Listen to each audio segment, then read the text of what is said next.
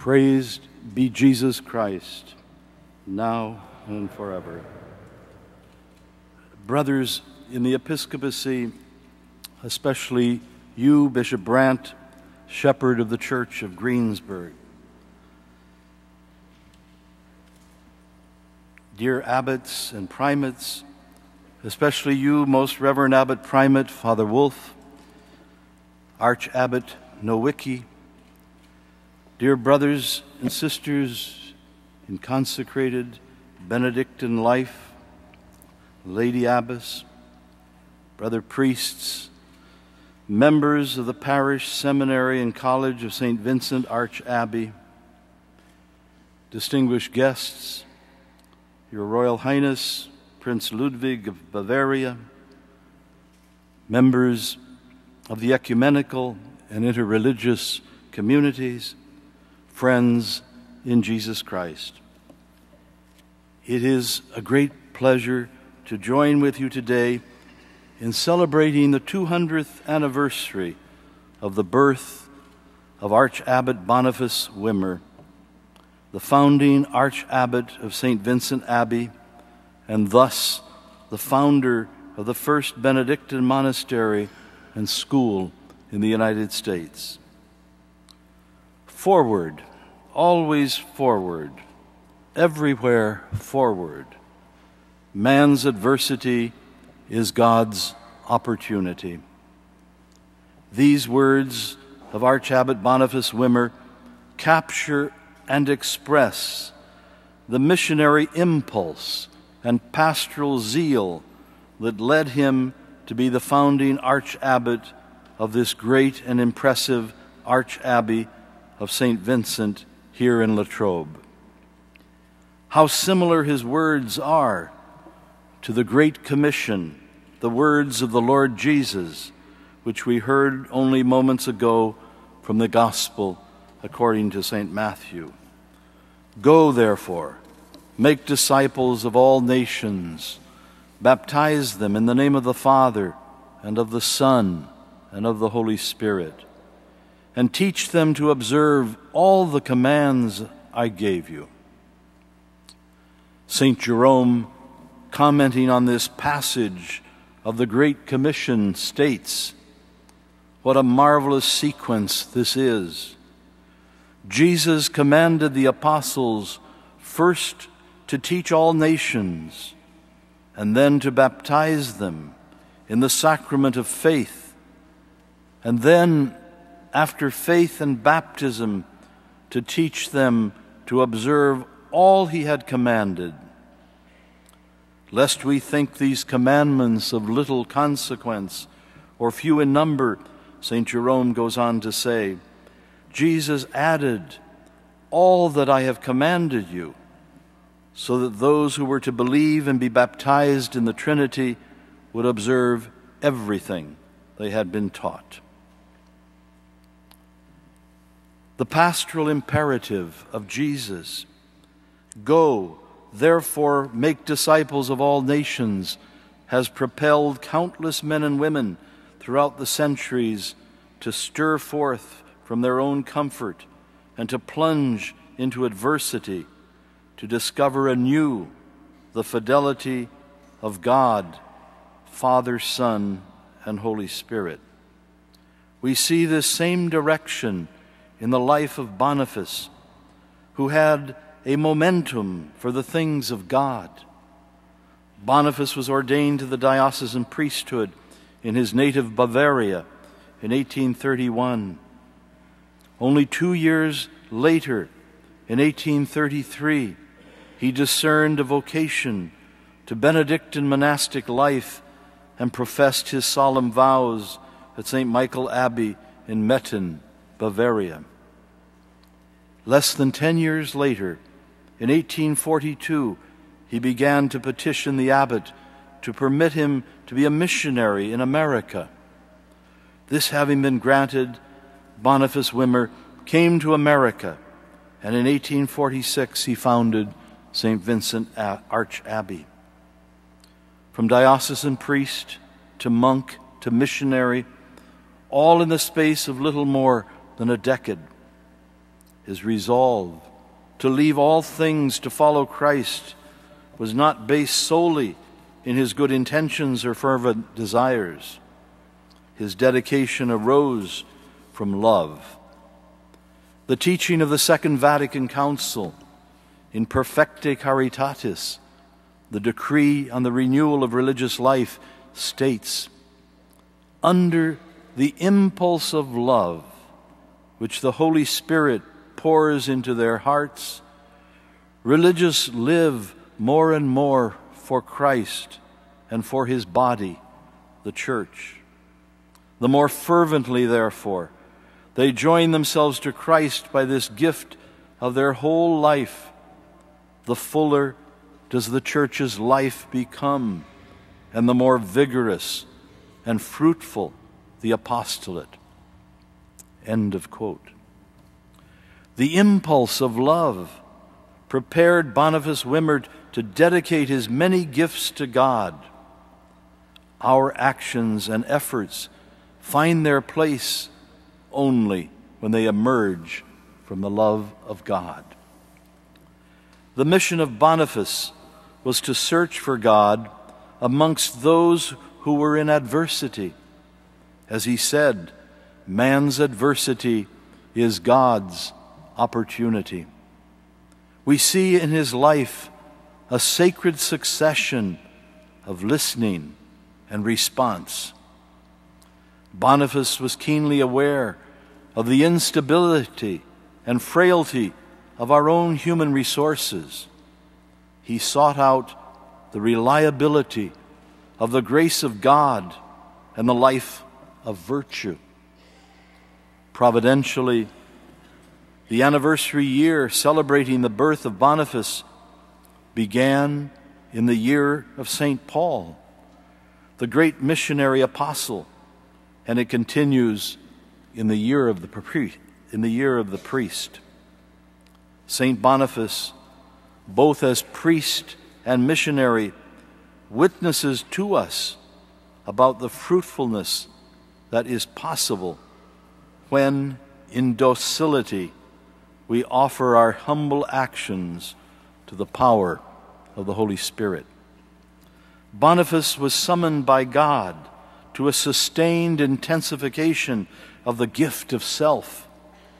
His response was a sequence of fidelity to the call of Christ. He was faithful to the rule of St. Benedict. He heard with clarity the very first words of the rule. Listen carefully, my child.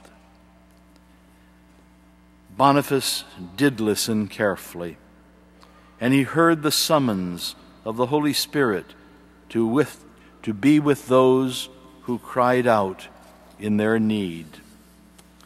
And now, today, as we gather in this beautiful basilica, we are surrounded by the effects of Boniface's listening and responding to the Word of God. We see St. Vincent's College, St. Vincent's Seminary, the Benedictine Community, and St. Vincent Basilica Parish, which together advance the many apostolates which spring forth from the community founded by Boniface. Consider the rich inheritance dispensed among countless believers who have prayed in this beautiful basilica, discovered and nurtured their own vocation on these grounds, been nourished by the sacraments, pursued holiness through the retreats, studied and meditated on the mystery of Christ, have been drawn to the beauty of the church through the work of the artisans. All of this arose from faithfulness, faithfulness in difficult times. That which others run from and attempt to escape, namely adversity, Boniface was called was called to it. He came to America during a time of great adversity in particular, he was responding to the plight of German immigrants. By most estimates, already in 1776, over one third of Pennsylvania's population consisted of German immigrants, and they continued their journey to America for decades thereafter. They fled unstable political situations and economic hardship. They came seeking religious freedom after the Napoleonic Wars. Their journey was difficult and filled with suffering and pain. Many of their friends and relatives had died during the voyage. They then met prejudice and discrimination as they sought to settle and raise their families. There was adversity at every turn. These pains do not belong merely to the past. Pope Benedict XVI, in his most recent encyclical letter, Caritas in Veritate, Charity in Truth, draws our attention to the burdens and sufferings associated with, in his words, large scale migration of peoples, often provoked by some particular circumstance and then given insufficient attention. End of quote. The Holy Father goes on to emphasize the social, economic, political, cultural, and religious problems raised by the phenomenon of migration, which require, as he said, bold, forward looking policies. How similar the words of Pope Benedict are to those of Boniface forward, always forward, everywhere forward. The words of our Lord and Savior, Jesus Christ, drew Boniface to this place. Go, therefore, make disciples of all nations.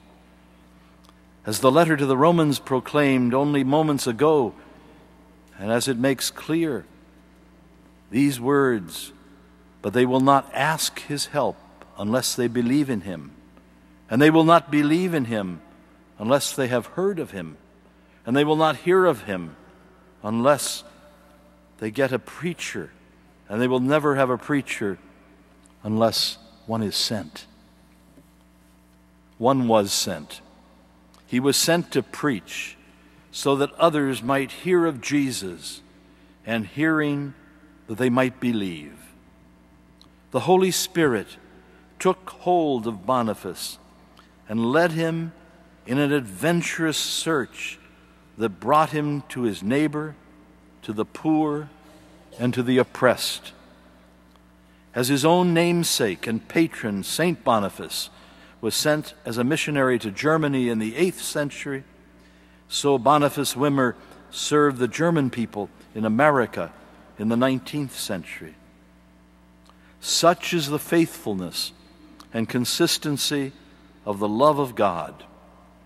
And so Boniface led 18 novices to Pennsylvania so that together they might evangelize, serve, and teach the German immigrants as they bore witness to the gospel values of religious, consecrated life. As they came to this spot, the only structures they had were a small schoolhouse, a barn, a log cabin, and a small brick church. But they were accompanied by the spirit of their father, St. Benedict, the Benedictine rule, the fellowship of the community, their commitment to the continual pondering of the Word of God, study of the divine mysteries, devotion to the sacraments, and perseverance in hard work. This was the foundation of 41 years of service and dedication to the church in America on the part of this son of St. Benedict.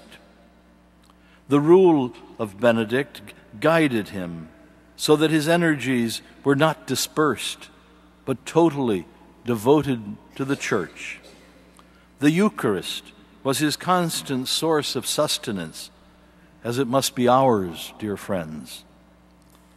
As Pope Benedict XVI teaches in Sacramentum Caritatis, there is nothing authentically human. Our thoughts and affections, our words and deeds, that does not find in the sacrament of the Eucharist the form it needs to be lived to the full. Words of Pope Benedict.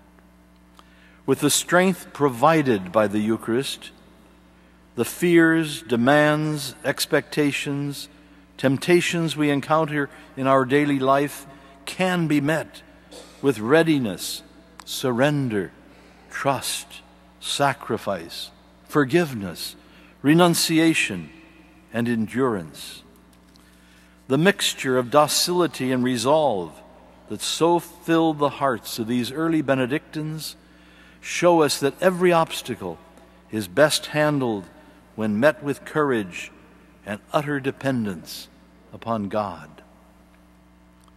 The gift of administration is clearly evident in the work of Boniface.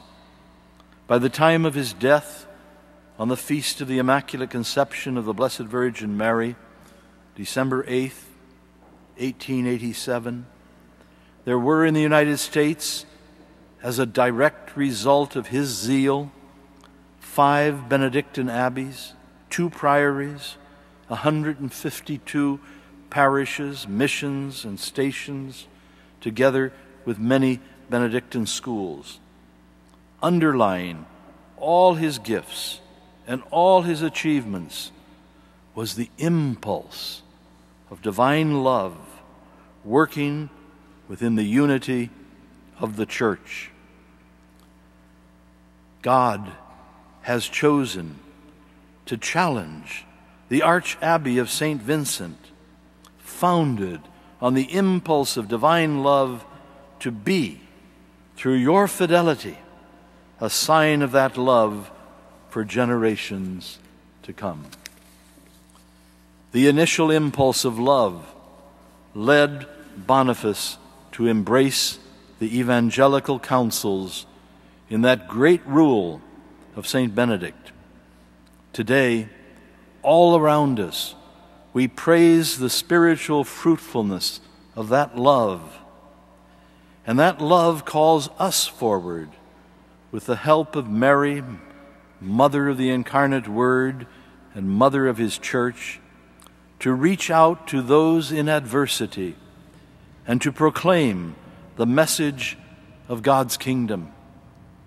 And today, as we celebrate the 200th year of the birth of Boniface Wimmer, Arch Abbot and Founder, we give thanks to the most blessed Trinity for his fidelity and that of his fellow monks. With humble and lasting gratitude, we proclaim in the words of the letter of St. Paul to the Romans Their voice has gone out through all the earth, and their message to the ends of the world. Amen.